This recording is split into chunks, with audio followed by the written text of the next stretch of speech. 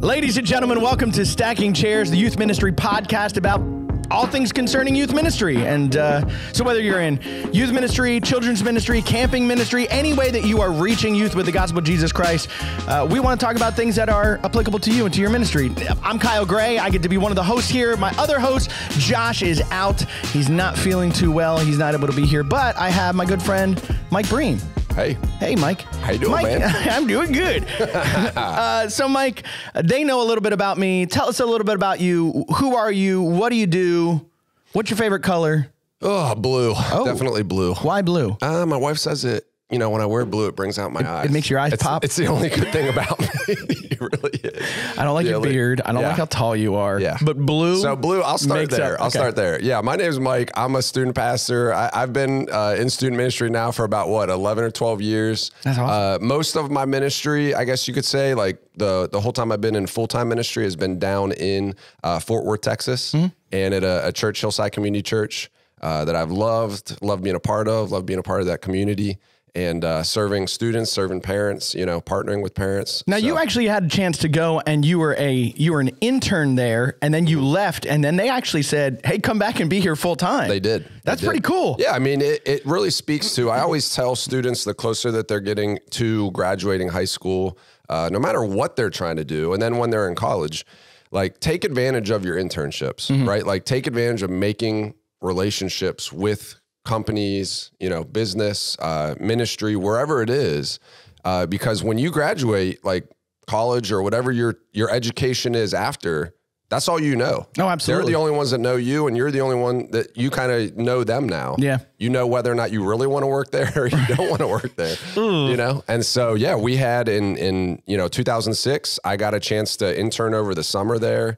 Uh, and got my kind of feet wet in a lot of different areas Hmm. children's ministry student ministry a little bit of adult ministry and uh, knew at the end of that summer you know I, I don't sometimes you don't know if you can like pray things to god Yeah. i don't know if you've ever had those moments Yeah. and uh, I just said, God, I don't, I don't know if I can really ask this of you, but I would love for that to be the first place that I work when I get out of, like Yeah. when I graduate college. That's awesome. You know, and uh, and you know, he answered that with a yes, and I've enjoyed it so much So you've been there. You said for eleven years. since 2010. So yeah, That's crazy. It's it's been a while. It's So while. that's that like takes the national normal average of a youth pastor's time. I'm, bring- chokeholds I'm bringing it. it way up. Yes, I'm bringing it way up. Let's let, let's be let's be real here. Yes, There probably has not been more than enough opportunity or reason to say I'm out. I'm I'm done. I could leave now and I could walk out and I could just be like done with this thing. But you're still there. So what what has kept you in that situation? Well, I mean, I'm I'm really happy you you asked that, and I'm happy that we have a chance to talk about this on a this platform. I think uh, when I was at school, when I was at, I, I should say when I was in college, and I was getting a, a biblical studies degree, I, I remember professors talking about student ministry, and at the time, like student ministry over the past couple of decades has been in a little bit of a a spot of transition, I think, because most most uh, professors, pastors that are aged in student ministry are now looking back and have been looking back for the last couple of decades, and they're saying, "Wait a second." Like that statistic that you mentioned, I think the average student pastor stays at a student ministry somewhere between two and a half years and three and a half years. Like it's Yeah. it's that quick. It's crazy. And I remember, you know, sitting in that classroom and hearing my professors talk about the fact that if you are getting into student ministry, you need to seriously consider that it is not just a stepping stone, you know, or a block for you to get to the next position in the church. Right. That it is it is a a moment and a ministry that needs consistency. Those students cannot just have people jumping in and out of their lives every few years.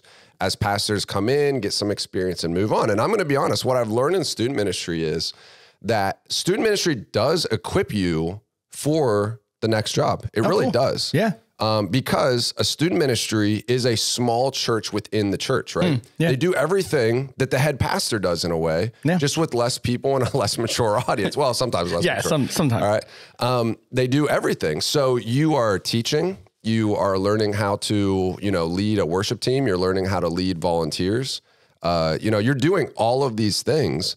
And because you're doing all of things, these things, you're gaining, you're gaining um, wisdom and experience figuring out like when we make this decision, it affects this side of our ministry, right? Oh, and yeah. when we do something over here, it now either is a pro or a con to something over here. And so, you know, being a student pastor and the amount of things that you oversee, it does really prepare you. Hmm.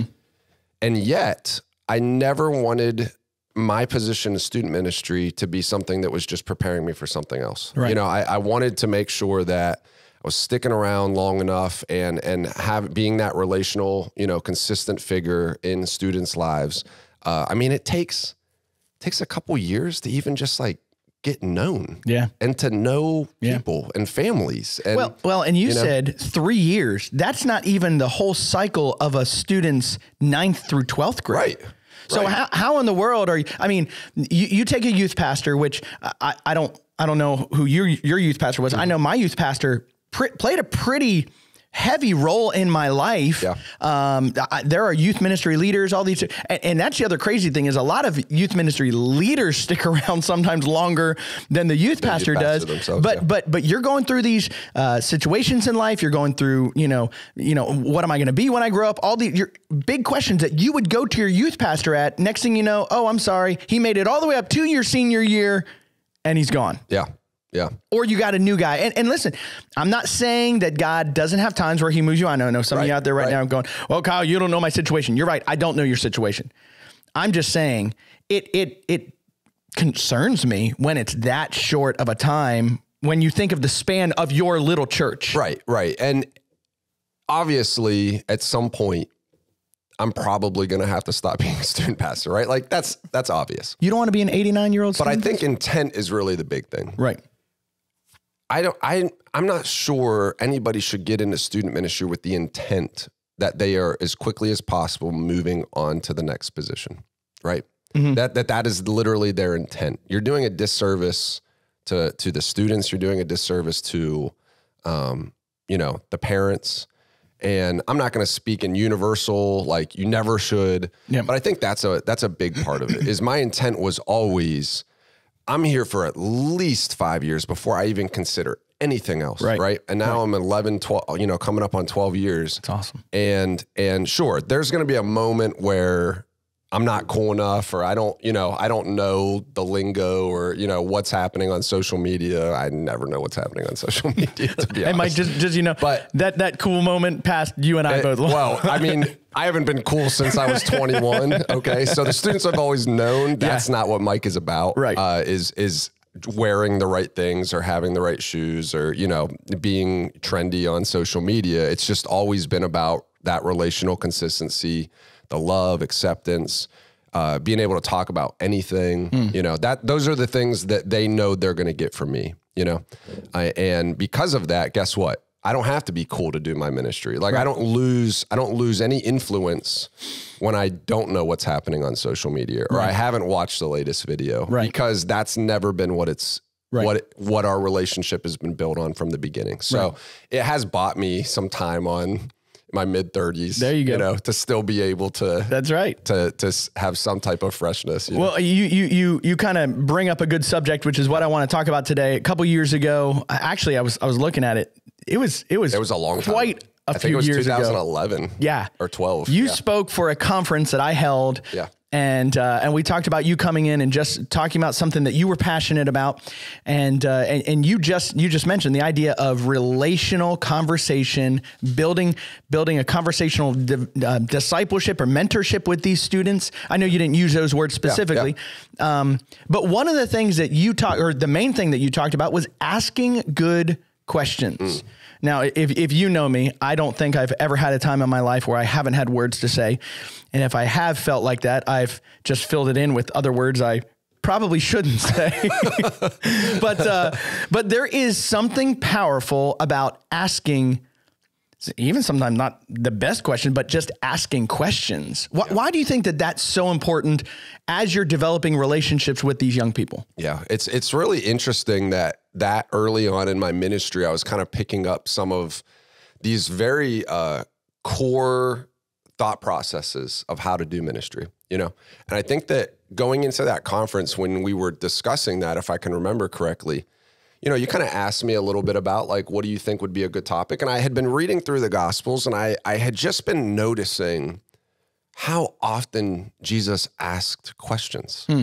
Instead of giving the answer right away, he asked the question first, right? And I know that some of that is is because that's you know was was very central to uh, you know Hebrew teaching, you know the way that the Jewish thought, you know, and how they they educated their audiences. But but it's it's a beautiful thing when you sit back and you're like, wait, Jesus, God Himself on earth, instead of always talking mm-hmm. and always telling, mm-hmm. would actually ask a question, right? Yeah. If anybody has the right to constantly be talking, Just and shut up. constantly, Let me like, tell you what to do. informing his audience yeah. exactly what should be happening at every moment, Right. Right? It's him. yeah. And yet, I think he just, because he is so infinitely wise, Mm-hmm. realizes there is power behind questions. And we always see Jesus asking questions in order to kind of maneuver a conversation towards a deeper level of understanding and spiritual truth, right? Yeah. Uh, it, he never asked a question without some type of great intention to get someone there, right? And so when we were talking about the conference, I thought, man, how have I been implementing this in my ministry? How has this shaped how I think through things? Uh, and how do I need to start thinking through things? And then just being able to have that conversation while we were at, you know, while we were at that conference. Well, and I remember you specifically honed in on one of your students um, who's uh, now grown up, he's married, uh, participated, you know, moving on. But I remember you talking about the difference was just, it wasn't even in your, okay, let's sit down and have this meeting. Uh, let's, let's get together. It was the, driving him riding around in the car with him driving him to to go pick something up from Walmart or dropping him off uh, after different things what about those times in the car not in maybe a formal setting do you think opens up the conversation for students D- I guess here's here's my question you Yeah. do you think environment changes the tone of the conversation Well, it, I mean, no doubt, it, it definitely changes the. I mean, if their parent is standing right there, guess what? The environment is different. Talk to me about your How we're- purity, Yeah, how we're going to discuss things is, is Yeah. different i- in different environments with the people that are around. I, I think one of the areas that that this you know has has kind of impacted me, and one of the points that I brought up at that conference is that I have to be as a student pastor, and this doesn't matter if you have 200 kids in your ministry, you have 20 kids in your ministry, right? Mm-hmm. There, there's obviously going to be a little bit of a difference in how this relates to your context. But I have to be a student of my students, hmm. right? I have to mm-hmm. be a student of my students. Now, if you have if you have student ministry that is well into the hundreds, yeah you aren't going to be able to be a student of every single student in there to to an extent, right? Um, but but if you have you know those that you have more influence over in the bigger student ministries guess what you're responsible to be a student of them you're responsible to figure out when are the moments when they're the most open to dialogue Yeah. what are the moments that i can slip in a question uh, when are they ready to hear something that is going to be really hard for them to hear and and you know if you if you are a student pastor of a smaller ministry then you really have the ability to be a student of all of your students Yeah. for each one of them to be learning them and like figuring things out and going and asking yourself those questions as you're meeting with them even uh, you know even just having a very high relational intelligence like that IQ that comes Uh, of you know building relationships and and just kind of you know knowing those things figuring out their spir- spiritual maturity their context. And some of that comes with just asking questions you know just asking questions of them. And those are the things that just happen naturally when you are able to take some time completely doing random things. You know like i, I think about some of the conversations that i had with my parents growing up okay? And when they were like formal conversations they weren't they weren't as good they weren't as when they were yeah. just natural yeah you know yeah and so obviously there is a spot for formal conversation. Mm-hmm. It has to happen at times. There's moments when I have to look at a student and normally what I do is I go, "Come on, let's go." all right. Like, all right, we're going to go talk about something that just went down. Yep. And we have to have a formal conversation. But I have waited at times years. I'm not I'm not joking. I've waited years to ask a student a question that I have just been thinking about for them, and Wow. praying over, and just sat and thought, when the moment is right, and at some point it's going to be, this question needs to be asked of them. Do, do you think that that's I, I, as, as you're talking through this I I'm reminded of the Philippians 2 passage that just talks about how Jesus came in humility. Do you think mm-hmm. that that had to do with a little bit of of that humility being being displayed asking a question rather than making a statement? Yeah, I, some of it is some of it definitely you know does revolve around that. I think I think for for us, so obviously we're gonna like compare ourselves to perfection here, so it's a little bit it's a little bit difficult. Yeah. I, I just for me, I think what's shaped my my thought process is I have found in the moments now, and obviously I speak on stage a lot, so I have to say things on stage and talk for you know minutes at you know. But there are moments when I'm just in these relationships with my students that I have to realize. And sometimes I catch myself because the moments when I feel my mouth running the most, it's the moment when I feel like I have to be in control of this and I have to get them to understand what needs to be understood right now. Okay. And so some of this, some of the freedom that you feel when you start just thinking about, okay, let me, you know, reframe how I think through this subject of asking questions, some of the freedom comes with the fact that, hey, we have someone called the Holy Spirit.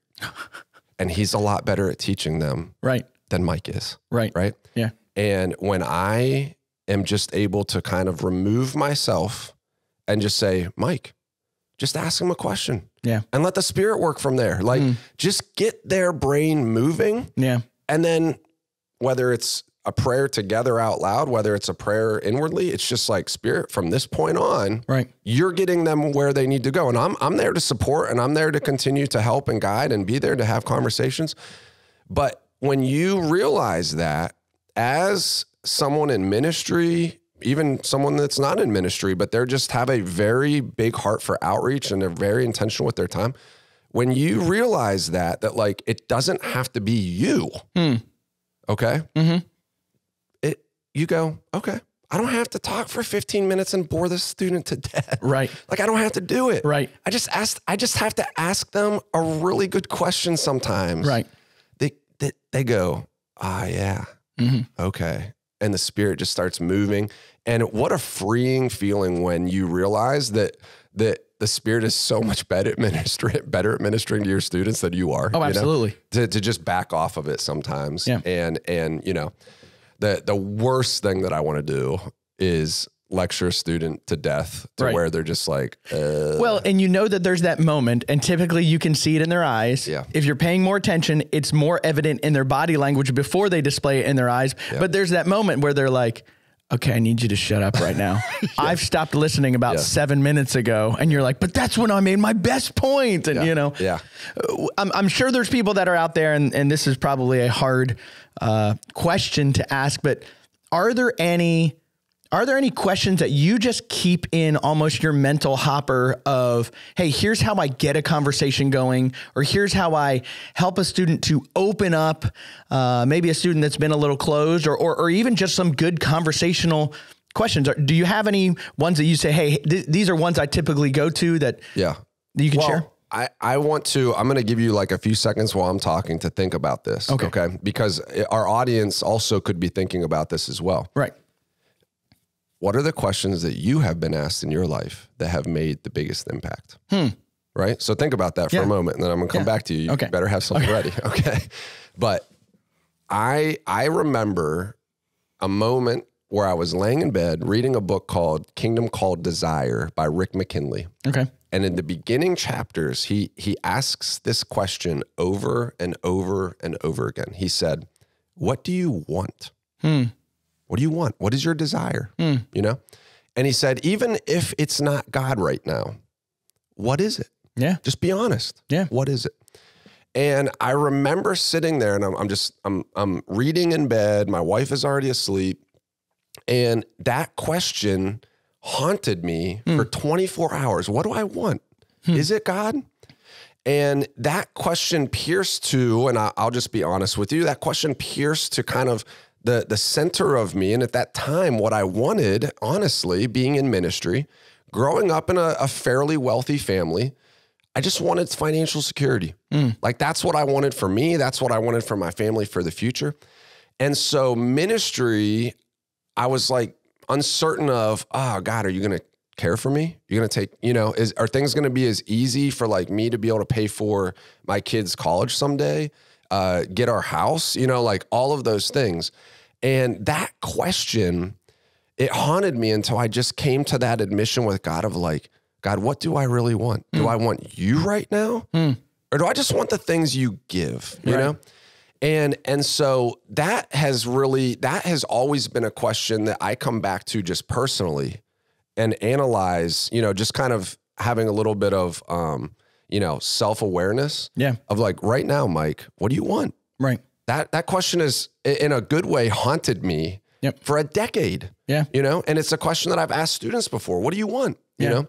Um, another big question, and I, I'm giving you a few more. give- you give me a few more minutes. All because right, I can good. tell you have nothing. you have nothing going on right now. All right, is how's that working for you? Oh, I love asking Right? that question. That's oh, a I- great I, one. I love. I, w- as you were talking about that, my one of my questions was, "What's the win for you here?" Right. Like I, people have asked me that, where I'm like, "Oh, I don't know. I don't know." Right. You know. Right. So it's actually something that we're going to talk about tonight is our our our thoughts and our beliefs. They have consequences, hmm. right? And how often does a student or an adult hmm. find themselves with the consequences, but they never hold their belief accountable? Right. right? They just move on to the next situation carrying those same beliefs Wow. into it, right? Hmm. And so that question, how's that working out for you? Or what is the win here? Right. Or do you like where you are now more than you were a Yeah. year ago Yeah. based off of how you're thinking through this? Yeah. Um, hmm. Some other ones that kind of hit to the core as well, because that's that student or that that parent or that adult, who, whatever your ministry is, or even maybe like upper levels of children's ministry, right? That person is now faced hmm. to face with that fact of, oh, I have to analyze something taking place in core levels of my heart, my mind, my soul, right? Yeah. Of these beliefs that I have. And so that's another one that just kind of hits, it cuts, you hmm. know, right right through that. So is there any any other questions? So so to mind? one I remember somebody asking me one time, which so much of um, discipleship processes that I've been a part of can be more about the discipler saying, "Okay, I want to go there. We're going to go there." And it's those other, it's those couple people along the line that said, that asked the question, Kyle, what do you vi- what what do you value, mm-hmm. or what do you find value in, or what makes you feel valued? Mm-hmm. And and for me to be able to kind of think about that, because I'll be honest with you, growing up, there were some times I knew what I valued. There were other times I thought I knew what I valued, and there then there were those perplexing times I didn't know if I could find value in anything. Yeah. So, I mean, it's just kind of walking through, getting to know that student. Every single one of them is individual. I, I- don't know if you've done this. I know I've done this. I had a really good question with this person over here, and I tried to translate it and ask this person over here, and sometimes it was not a good. It was not a good question. You know. Yeah. Well, and you know, like even in the, you know, our discipling ministry that we do on Sunday mornings, I, I like to have as many questions as possible for the students so that they're thinking through and answering things. Mm-hmm. There's just some, like, one of the worst things is when you ask a dumb question Oh. or like two, the one that no one in the class wants to answer because Yeah. it's too obvious, Yeah. you know? Jesus. And and there's moments where even when I throw a question out and it's kind of fuzzy what I'm trying to get at, or you know, and I'm just like, that's a bad question. Yeah. Let me let me start over. So Do you just, own that from stage? Oh yeah. Oh, oh yeah. I mean, everybody.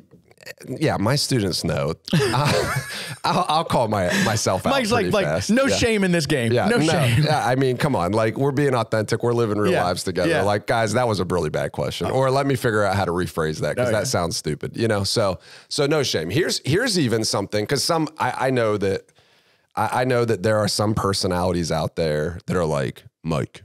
But you have to say something. You can't just always ask questions. You know uh-huh. that that guy. Yeah. And and I, I get it. Here's something that I even we we did a training back in September for our student ministry leaders, and we had our our ministry leader, our director at our church that does more of the counseling and care side of things, and she came in and she said something that even made me think, okay, this is even another question. Hmm. Before you get to the teaching or discipling side of it, here's another question. She said, when you are sitting and listening with a student as a leader, okay, especially this is going back to being a student of students, okay, because sometimes you can tell this student based off of their personality or the predicament they find themselves in. Sometimes they you can tell they already want an answer. Like they're telling you something because they need to know like how should i be looking at this? And so in that situation you don't really have to ask a question because you can just tell they're ready like they are ready to receive what you have but then there are some students that are a little bit more headstrong or opinionated or think they know the situation. Mm-hmm. And at times they're even telling you how dysfunctional something is, but they're like proud of it. Right. You know, we've all Right. had that, Right. that Right. conversation Right. Yeah. where they're like, I'm ruining my life and it's awesome. It's like awesome. it looks, I'm just thinking so Yeah. well through this. Yeah. And you're sitting there like, oh, in 10 years, this is going to be a nightmare. Yeah. Okay. Yeah. And she said at this, at this, you know, at this uh, training meeting that we had, she said, sometimes you have to ask them for the right to speak into a situation Huh. right? And I thought, hmm, even when you know you have to say something, start it with a question. Yeah. Because how many of your students, children, you know, adult ministry, whatever you're in, how many times are they at home or with other other authority figures in their lives Oh yeah. and they're getting all of this advice on what they should do, but they haven't been asked right. for the right to say those things. Right. Right. And like you said, that glazed look of, oh my word, will this person shut up Mm-hmm. already? Okay. That's the last thing that I want my students to ever think of me is that Mike is just going to barge in Right. without kind of the right to do it. Right. Because guess what? That just ruins some of my ministry for the next time I have a conversation with this person. Now I have to go back and I have to kind of undo some things like what they have built up in their heads. Oh, that's just Mike. He's going to handle it like that. But to be able to say, I loved it when she said it, to be able to say, do you mind if I, I speak into this a little bit? Hmm. And I'm like, what a great question. Oh, absolutely. Because if they say no, I say, all right, okay.